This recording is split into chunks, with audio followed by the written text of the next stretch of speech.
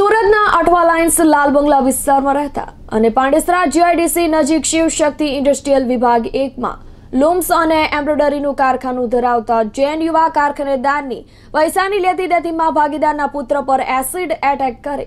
ત્યારબાદ ચપ્પુના ઘા મારી તેની હત્યા કરી ફરાર આરોપીને પોલીસે ઝડપી પાડ્યો છે. આરોપી બે દિવસમાં હત્યાની એક ઘટનાને અંજામ પણ આપવાનો હતો.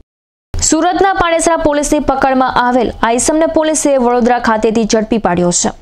આરોપીએ પૈસાની લેતી દેતીમાં ભાગીદારના પુત્ર પર એસિડ વડે હુમલો કરી તેના ઉપર ચપ્પુના ઘા મારી તેની હત્યા કરી ફરાર થઈ ગયો હતો.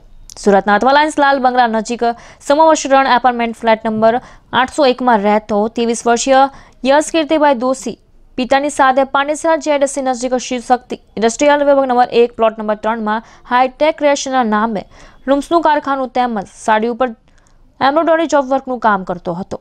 અઠ્યાવીસ માર્ચના સવારે દસ વાગ્યાના અરસામાં યશ કારખાનામાં માસ્ટર રણજીત ધોબી સાથે નવા આવેલા એમ્બ્રોડરી મશીનને ફિટ કરવા ઊભો હતો ત્યારે તેના પિતા કીર્તિભાઈના ભાગીદાર પેચરભાઈ ભગવાનભાઈ કાકડિયા ત્યાં આવ્યા હતા અને પોતાની પાસેના એક ડબલામાંથી યશના માથામાં એસિડ નાખી દીધું હતું.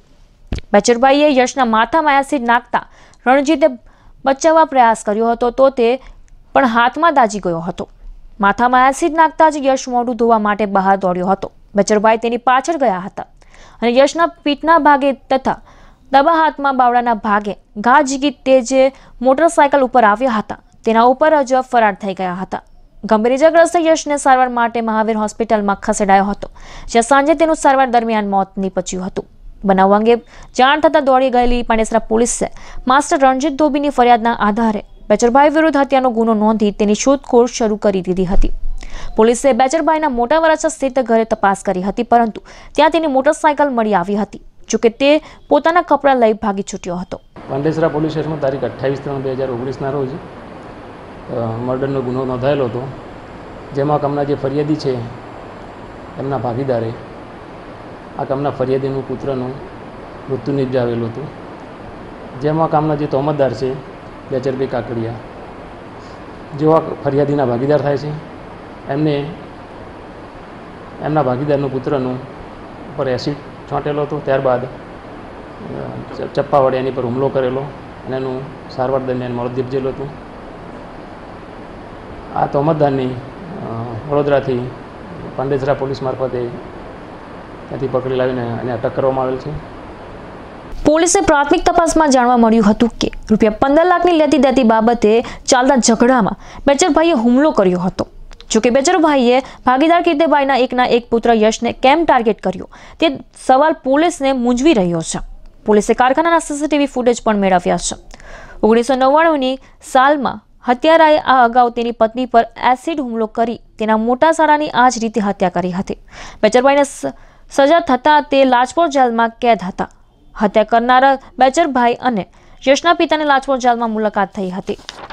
બચરભાઈએ ને કીર્તિભાઈએ ચરીના પાવડરના ધંધામાં ભાગીદાર બનાવ્યા હતા. ધંધામાં બેચરભાઈએ રોકેલા રૂપિયા પંદર લાખના ઝઘડામાં હત્યા કરી હોવાની વાત સામે આવતા પોલીસે તેની ધરપકડ કરવા ટીમ બનાવી હતી. જોકે આરોપીને બાતમીના આધારે વડોદરા ખાતેથી ઝડપી પાડવામાં આવ્યો હતો. તેની પૂછપરછમાં બે દિવસમાં પોતાના નાના સાડાની હત્યા કરી પોતે પણ આપઘાત કરી લેવાની વાત પોલીસ સામે કબૂલાત કરતા પોલીસ પણ ચોંકી ઉઠી હતી. આજે તોમતદાર છે બેચરભાઈ કાકડિયા એને અગાઉ પણ ઓગણીસો નવ્વાણુંમાં એની પત્ની ઉપર એસિડ છોટેલો હતો. ત્યારબાદ એના જે સગા શાળાનું મૃત્યુ નિપજાવેલું હતું. અને આની પૂછપરછમાં એવું ખુલ્યું છે કે હાલમાં પણ પોલીસ મારફતે પકડી ગયું નહીં. તો છેલ્લા બે દિવસમાં એના બીજા જે શાળો છે નાનો, એનું પણ કંઈક એનું પણ ખૂન કરવાનો હતો. અને ત્યારબાદ પોતે પણ આત્મહત્યા કરી લેવાનું હતું. એવી હકીકત તપાસમાં ખુલ્યું છે. સાહેબ આ મર્ડર છે એ કયા કારણોસર કરવામાં આવ્યું મર્ડર કેમ કરેલું શું કરીએ કારણોની તપાસમાં હાલો પાંડેસરા પોલીસ મારફતે તપાસ ચાલી રહેલી છે. જોકે આરોપીને પોલીસે ઝડપી પાડી આવતીકાલે કોર્ટમાં રજૂ કરી રિમાન્ડની માંગણી કરશે પણ જે રીતે આરોપીની માનસિકતા એસિડ નાખી હત્યા કરવાની છે તેને લઈને તેની માનસિક કન્ડિશન સારી નહીં હોવાની પોલીસ માની રહી છે.